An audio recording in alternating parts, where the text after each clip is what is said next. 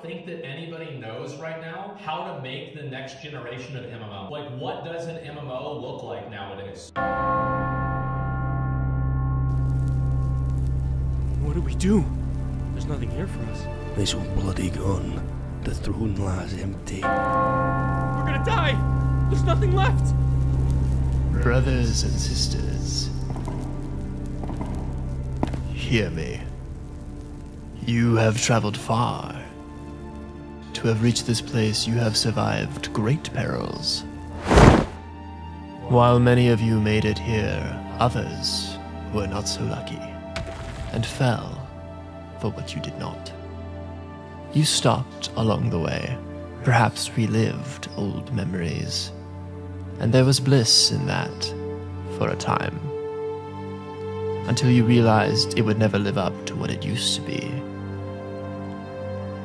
Thus, with ragged clothes and shattered dogma, you made your way here to the Hall of MMO Kings, seeking salvation. But like all who come here, you have found only a ruin and an empty throne. Who. Who are you? I was once the keeper of this place, the caretaker of hallowed stone. For years I have waited and withered in silence, awaiting the day I would have a reason to uphold my oath. So I say, damn waiting. Ignite the fire. Each of you cling to Holy Scripture that is different from those beside you, but you could not see, for the darkness was too great. In this church of MMO fans, when those doors opened, you all cried out, believing you spoke in a unified voice. But in reality, it was a cacophony of indiscernible pleas. At best, impossible to understand by developers who care. At worst, a ripe target for the corporate and the greedy. No more. Burn it away. Cast your scriptures into the fire. Kindle the flames. And join me as I write in the embers of your false gods the blueprint for the MMO that will ruin our lives.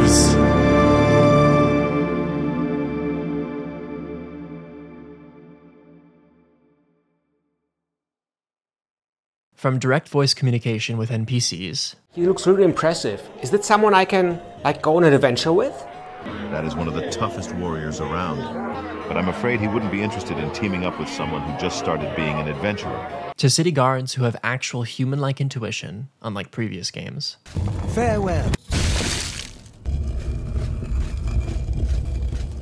May you rest in peace. The introduction of advanced artificial intelligence is going to revolutionize what used to be possible in video games. So it's time to think bigger. To create the MMO that will ruin our lives will require conceptualizations beyond the scope of what has ever existed in an MMO. But can we really visualize something that has never been done before? We can, but it involves creating a god.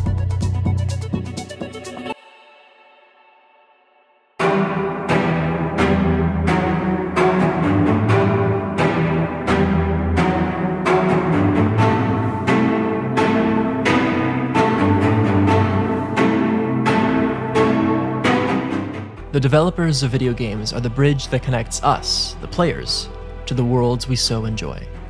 In many ways, developers are akin to gods, and receive much the same kind of reverence or scorn as the gods of mythology once did. They create worlds, write the rules, and compete with other gods for the adoration of us, mere mortals. As games have increased in their scope and their complexity, so too have the gods increased in their innovation. Helldivers 2 having a developer, Joel, who directly interfaces with the community and controls the battle lines from behind the scenes, is a recent example and a brilliant step towards creating a more interactive game. Imagine an MMO that responds to player behavior in a similar fashion, in real time, moment to moment, day by day, with emergent gameplay. Imagine if the entire game world itself was monitored by a new kind of god, an AI. Not unlike Joel from Helldivers, but far more expansive in its scope. A kind of monitor fused directly into the foundations of the world. What if players were building a settlement far into undiscovered lands and began clear cutting forests for construction projects and a valuable lumber trade? Perhaps the World Monitor would begin to strike back and send an army of Ents to attack the settlement, angry that their forests are being harmed so extensively.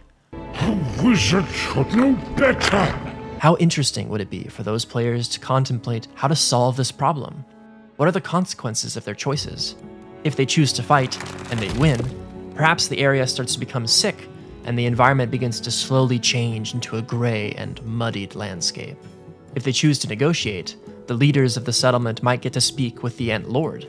In exchange for stopping the deforestation, perhaps the Ents and the settlers enter into a powerful alliance, and the Ents become friendly NPCs in the area, protecting travelers and caravans from dark forces. What is most important in all of this is that player discussion and player action leads to immediate change in the world around them, with long term consequences. In many ways, the world must feel truly alive, with its own motivations that exist beyond the prior knowledge of the players. All of these examples are individually possible by traditional developers, but take a significant amount of time. A lag that has persistently separated players from the level of immersion they could experience in an MMO. It's not the fault of the developers, who work tirelessly to make their games as good as possible and to update them as quickly as possible. But such is the business of entertaining mortals, whose thirst for new adventure is quite simply insatiable.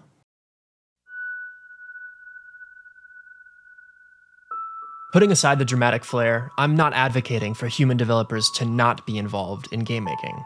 On the contrary, I think the development hierarchy should look something like this. At the top, we have the human developers and their studio. They are the original creators of the game, whose role remains in many ways unchanged until the launch of the game, laying the groundwork. From art style to game mechanics to initial storyline, but while they may be all powerful, developers are not all knowing.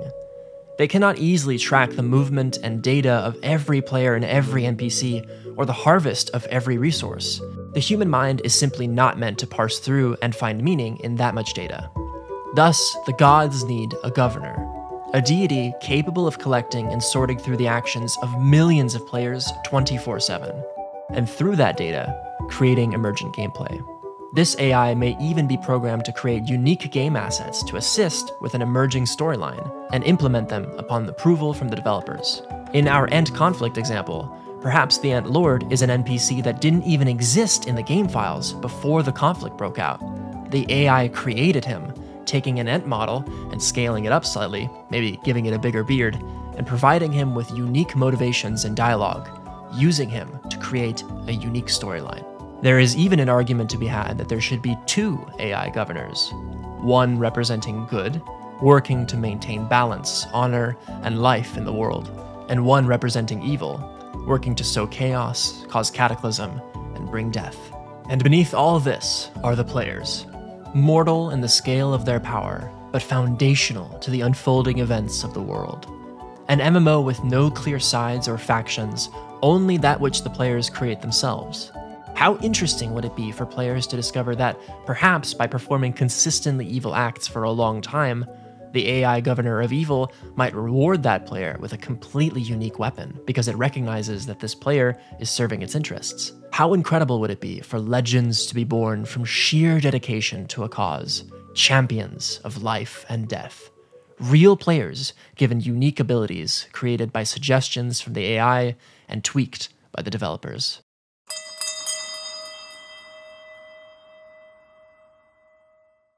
Now I want to go through a bunch of details that are critically important to an MMO that will ruin our lives.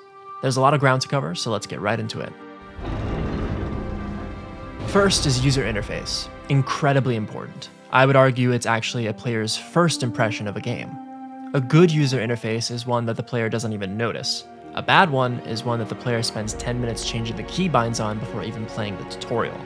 Somehow Elden Ring is in both of these camps. I love how free of clutter the screen is when playing Elden Ring, and how information only appears when it is important in the moment, like when health is lost, or an item is used. But I also remember needing to check the controls several times when I first started in order to understand how to do certain things.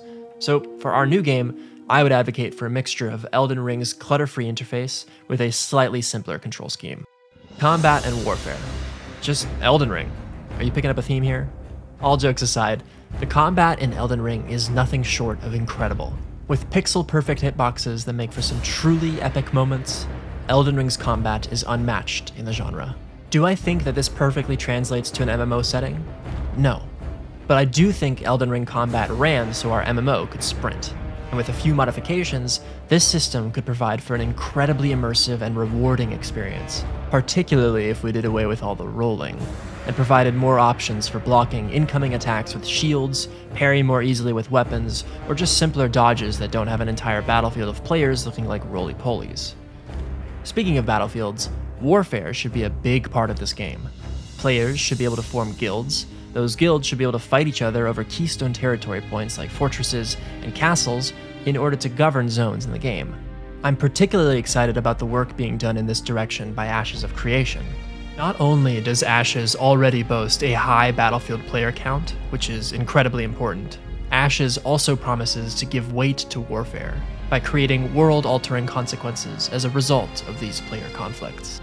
MMO players crave taking part in massive battles that result in a shifting political landscape.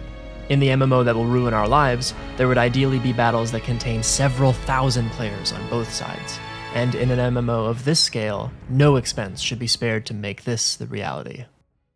This leads perfectly into a brief look at player settlements. I also love what Ashes of Creation is doing here.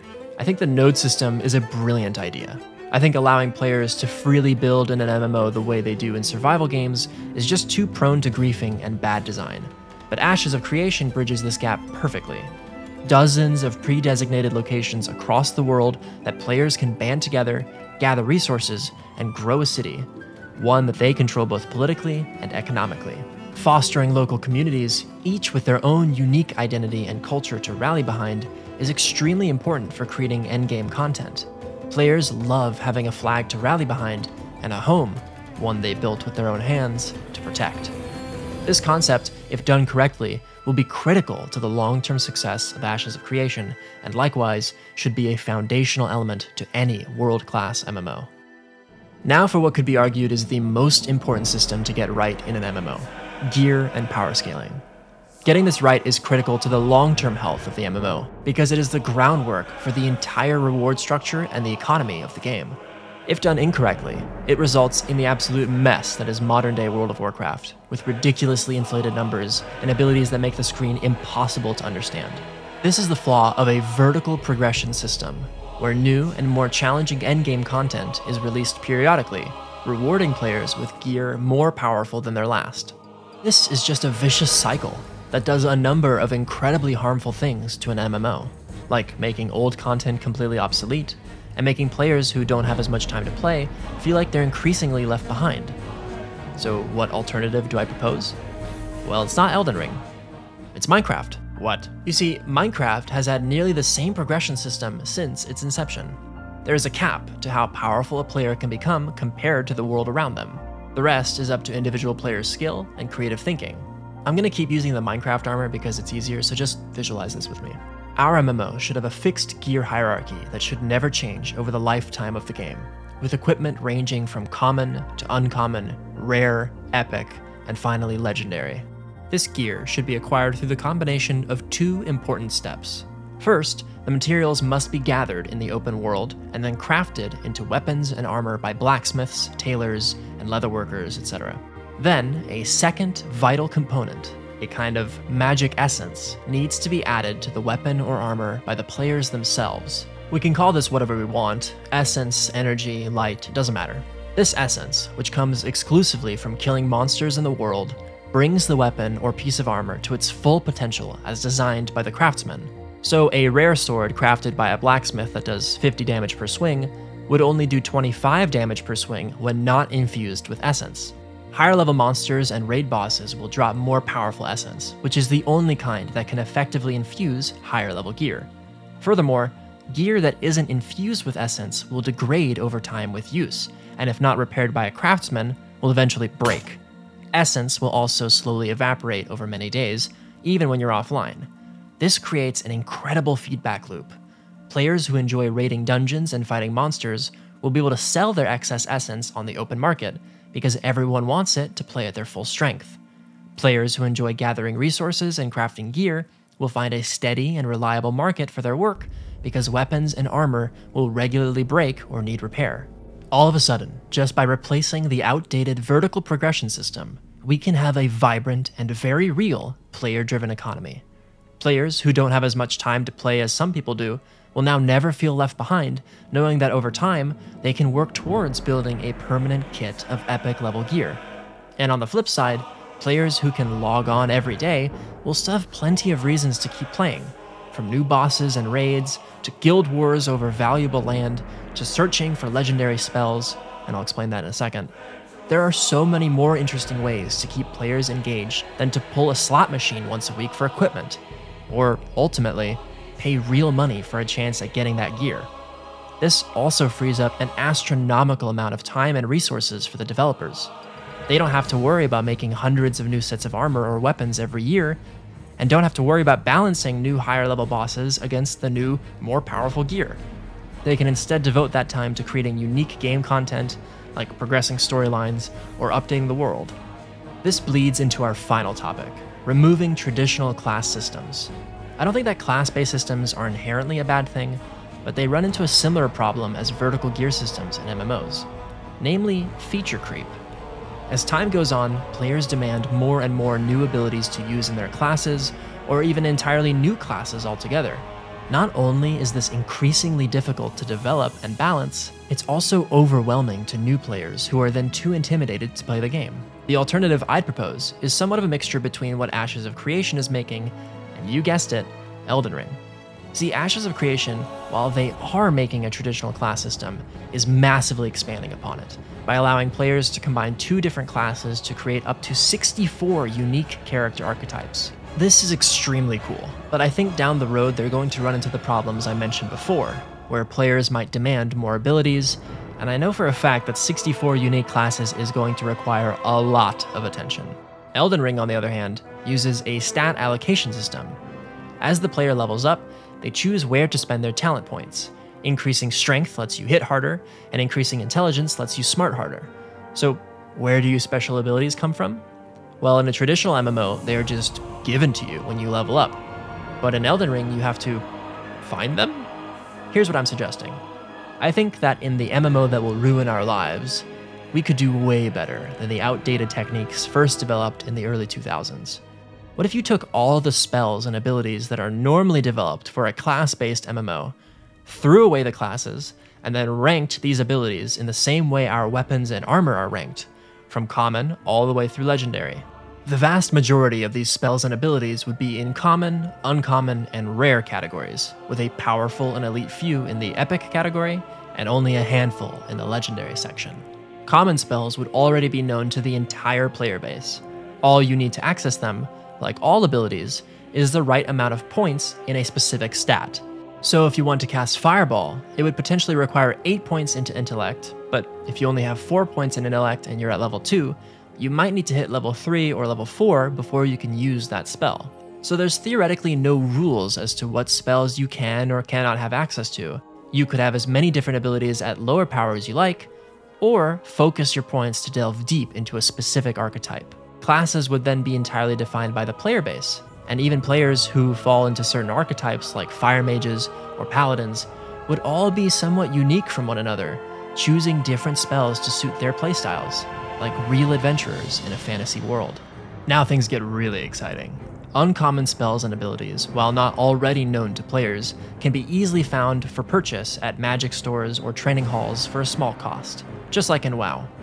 Rare spells, though, begin to become more difficult to find. Some might even be found at these vendors for a high price or as a reward for a difficult quest. Others, however, can only be found by killing certain rare enemies or by exploring the open world and solving puzzles or rituals. Epic level spells won't even be available for purchase anywhere. These spells will be exclusively found by defeating raid bosses or completing extremely difficult quests, or by unraveling the mysteries of the world itself. Finally, legendary spells, like their legendary weapon counterparts, should be awarded by an incredibly complex set of requirements that are hidden to the player base in a way that is hopefully impossible to reverse engineer. Or should be rewarded to players who are among the first to defeat a limited time apocalypse level raid boss. This change to classes does two incredibly important things. First, it gives players a profound sense of learning and accomplishment as they go on their journey to max level. Imagine how rewarding it would feel for a player to learn a powerful new spell because they followed their instincts and pursued a hidden questline.